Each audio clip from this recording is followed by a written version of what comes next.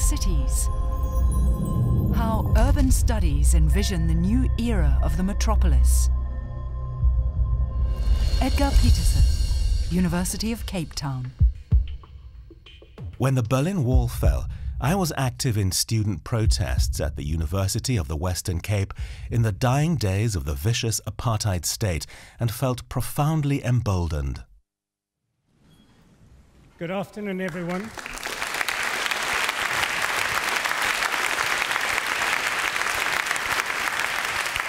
Not applause. Stand up, please. Everyone up, straight. Your feet flat on the ground, arms straight.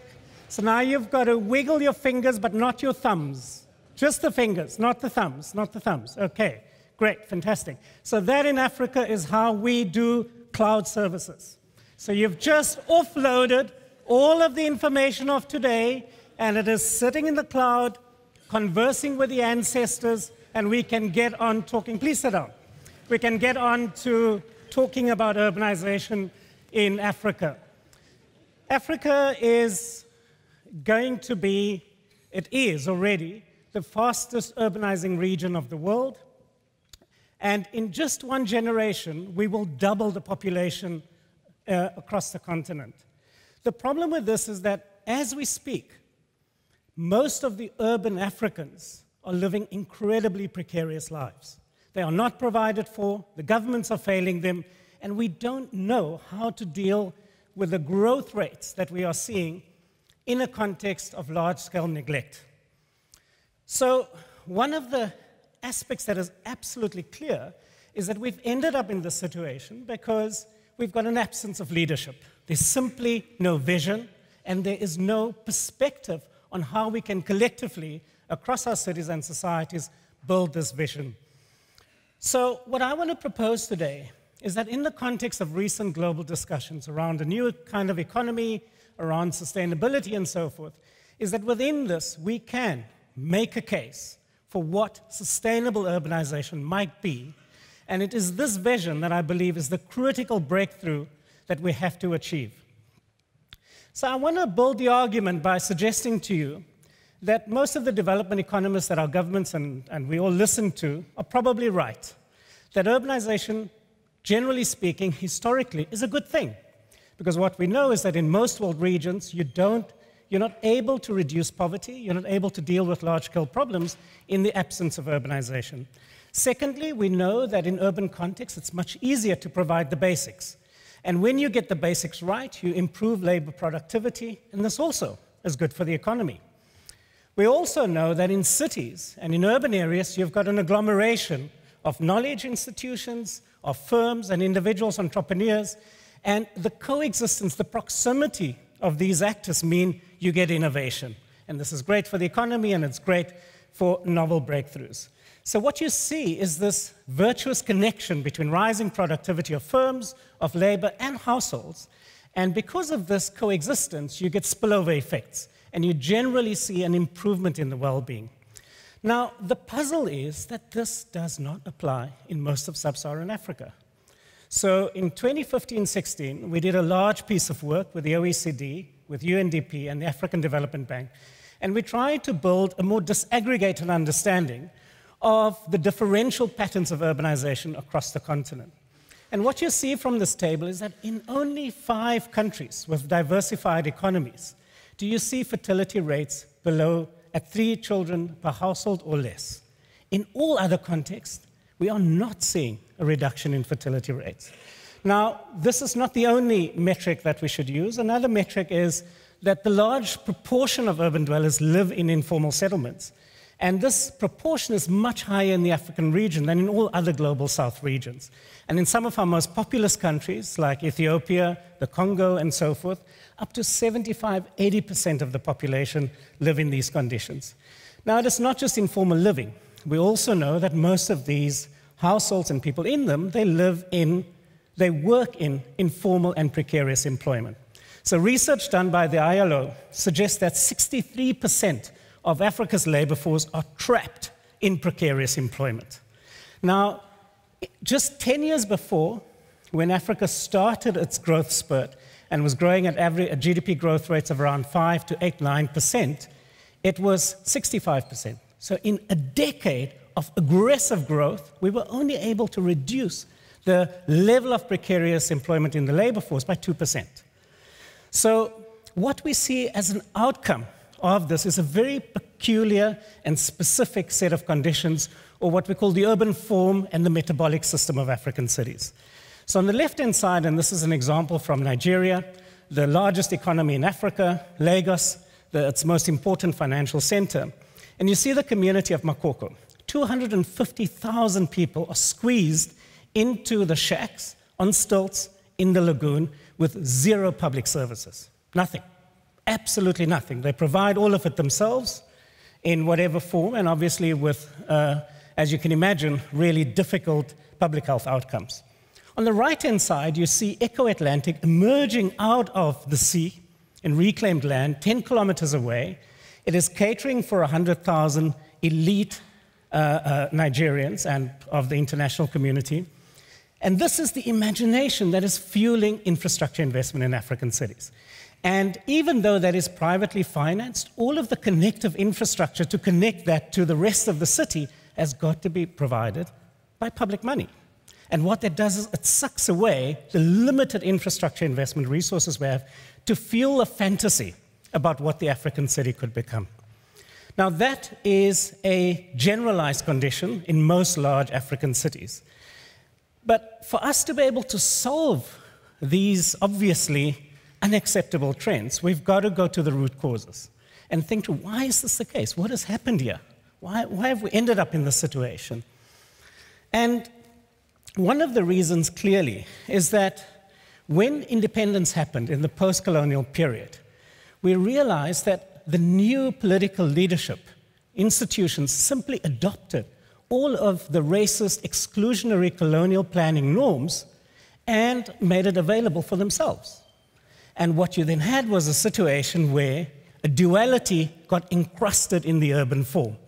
So a small elite is able to live the convenience of a European ideal of a suburban life, and the vast majority, by fiat of regulation and law, are consigned to illegality and effectively suffer state neglect. This then manifests in a situation where the small elite, if you will, are deeply vested in a kind of consumerist exhibitionism.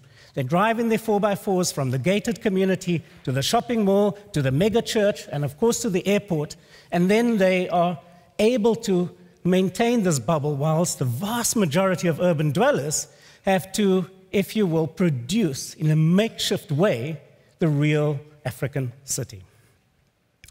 Now, this in our work, we've typified to be blunt and to the point as a kind of slum urbanism.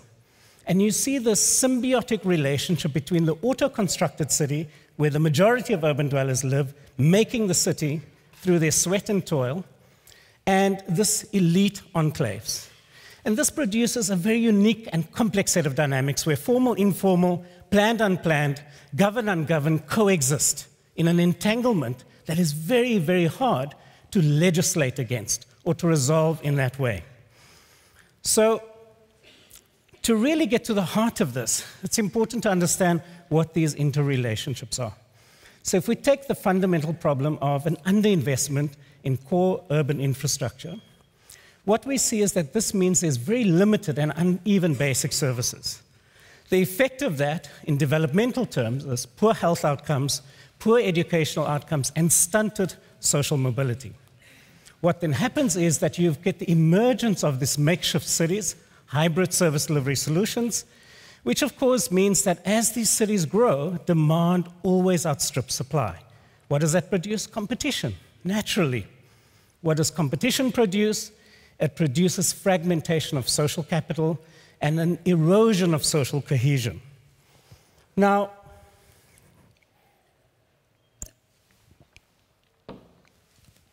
This in turn means that you've got over time a stunting of human capital development, which means most of the people in these cities are then trapped in precarious low wage work.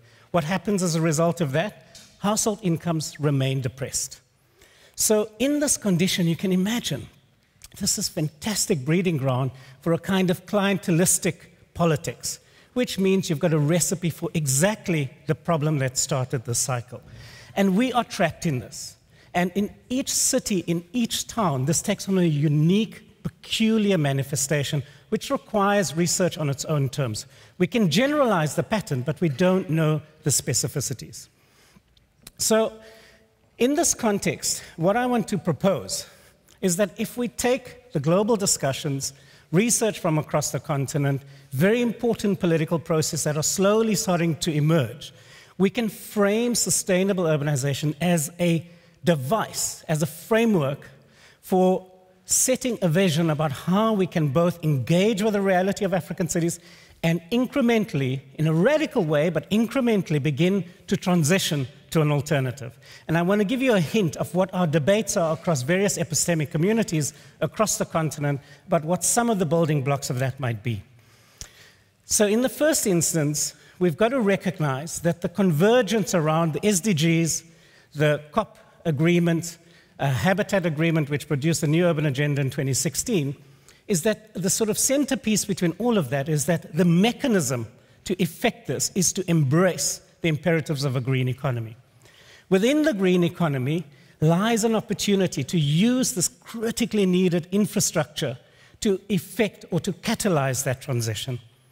And so, what does this mean practically? It means that across the continent, we're seeing that sustainable infrastructure is interestingly enough, in spatial terms, lends itself to a kind of deconcentration, a decentralized model of city making. Now, that's great news. Why? Because most of the communities in these cities who are attending to their own service delivery requirements operate on relatively small scales. So there's a spatial alignment between the possibility of off grid solutions, as is the case of M-KOPA in East Africa, and in various other examples that I will very briefly cite for you. Another example that is fascinating in South Africa, where the minibus taxi system, which is a 16 seater, has emerged as an organic response to the absence of effective public transport. And we're now on the cusp of Uberizing these vehicles so that we can begin to deploy them as effective responses to sprawl driven, sort of uh, low density urban environments. Now, of course, that's not a great thing. We should try and densify, but the point is, while we're sort of en route to that, we need to see how we use these organic responses to begin to deal with it. Another example is from Mathare in Nairobi, Kenya, where youth clubs originally emerged to try and attend to the sanitation and the waste problems in the neighborhood, and over time have been able to see the potential for new recycling and energy generation businesses. And these social enterprises are absolutely mushrooming in the region. Finally, we see across many, many African cities the emergence of a connection between the possibility of highly localized small plot food production and nutritional needs in schools, using these communal gardens in school grounds as part of the curriculum of these schools so that children get a direct connection to the production process, to uh, the various aspects going on there. And this creating a context within which people are beginning, if you will, at a micro scale to explore bio based solutions to key urban infrastructural questions. Now, what is fascinating about all of this is that it demands, from a management, a planning, and a coordination perspective, a localized decision making structure. And this is important because what it creates is that by attending in an alternative way to the fundamental problem of a lack of basic services, it creates an opportunity for a new political imagination and set of institutional practices where these circular economies at the grassroots scale creates the platform for neighborhood level decision making, planning, and governance. And this is fundamental, I believe, to the possibility of a fundamentally different kind of politics in Africa. A politics where decentralized service delivery is, in fact, the gateway to citizens realizing their power, using that power to contest the terms of urban incorporation so that you can begin to look at the larger city budgets, the money spent by the parastatals, and to uh, see the connection between expressing that as citizens and attending to their localized solutions. now, within this framework, what we see is that decentralized models have enormous potential, but we should never forget the fact that the one wall that has to fall is citywide investments in regional infrastructures around renewable energy, integrated transport, and universal ICT access, which in fact, interestingly, unlocks a set of fiscal resources that allows us to sustain a different set of logics for how infrastructure will work. And finally, we've got to recognize that none of this is possible unless we are able to see the emergence of a new kind of leadership on the continent. A leadership that is adaptive, that is able to carry its weight in the world with confidence, plans under their arm, helmets on their heads. And it is a leadership that is able to then draw on the very DNA of African decision making, which has always been collective, adaptive, and visionary. Thank you very much.